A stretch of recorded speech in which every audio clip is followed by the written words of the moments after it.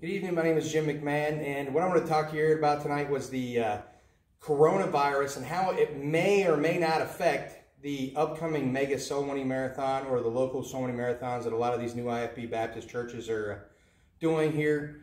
Um, upcoming, I know there's a Wheeling winning marathon that I'm going to be involved in, and then there's going to be the mega winning marathon. Wheeling winning marathon is March 21st the Mega Sony Marathon, April 11th. I'm going to be at the one in Fairmont, West Virginia at Pastor Robinson's uh, Mountain Baptist Church.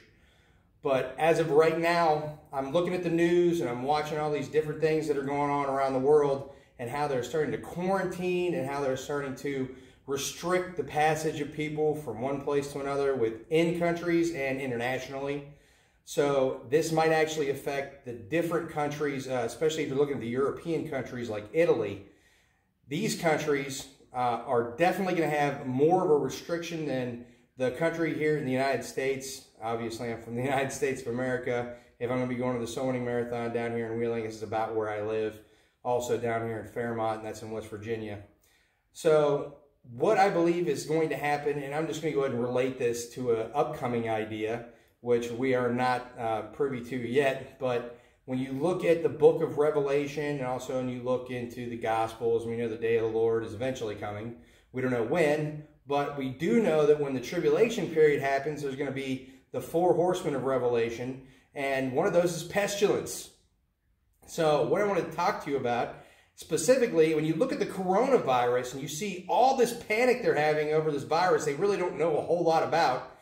Uh, what you're finding out is that they're already canceling the NBA season, they're canceling the NHL season, they're canceling March Madness, they're closing down Disney World. They're doing all these crazy things to try and prevent this from uh, this virus from getting out into the public when they really don't know what exactly kind of damage it's going to do. We already know what the flu does every year, which it causes anywhere between, I think, is approximately 200,000 to 650,000 deaths per year, and I think this is worldwide.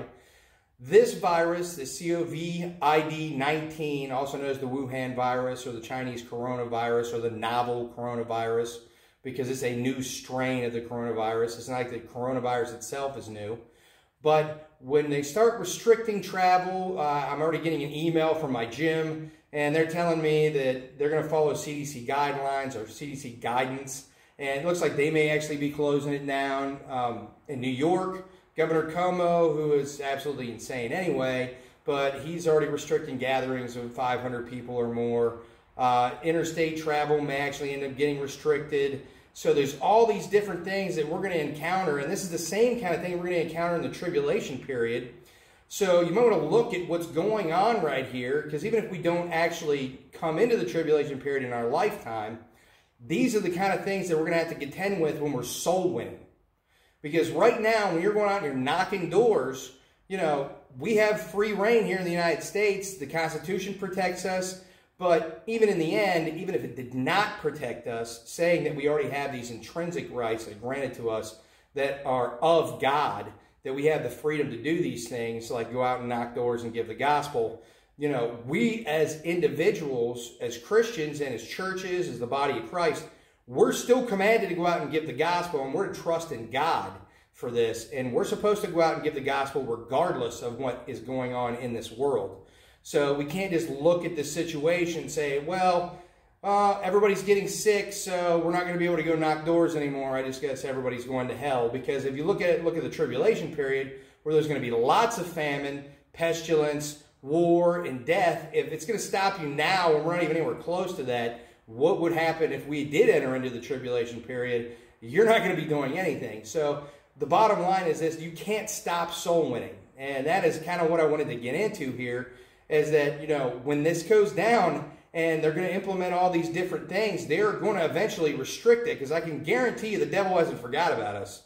So when we're looking at all these laws they're trying to implement, all these different restrictions, they're going to cause the, uh, the people within the United States to be restricted for travel, to be restricted from even probably from going door to door. And that's what we're really talking about here is not being able to go to knock on someone's door because they're afraid you're going to get them sick.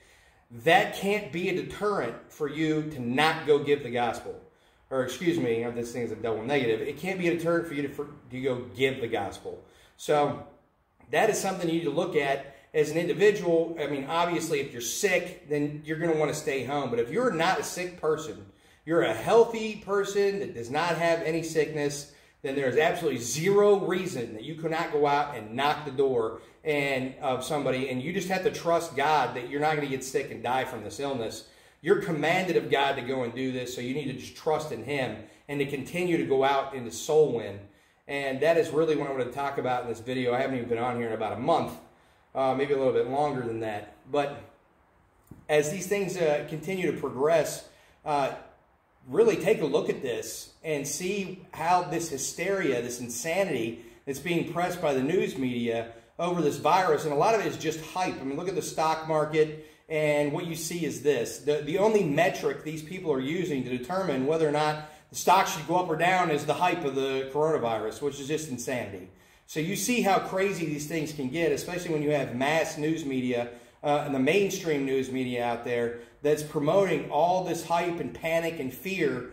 And that is going to lead to people not going to want to, they're not going to want to have you out and knock their doors.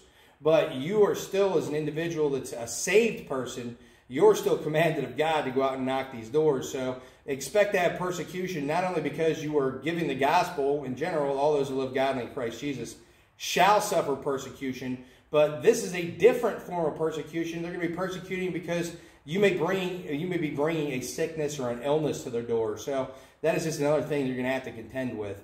Um, that's all I wanted to really go through in this video. Uh, I'm going to make a couple other videos tonight, I think, and uh, they're going to be talking about uh, walking in the Spirit and some other stuff. So uh, you have a blessed day. I hope you enjoyed the video.